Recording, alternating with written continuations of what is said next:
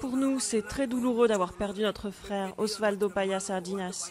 C'est le deuxième prix Sakharov que nous avons perdu en neuf mois.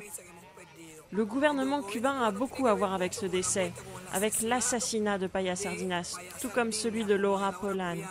Et si je me trompe, qu'on me démontre le contraire.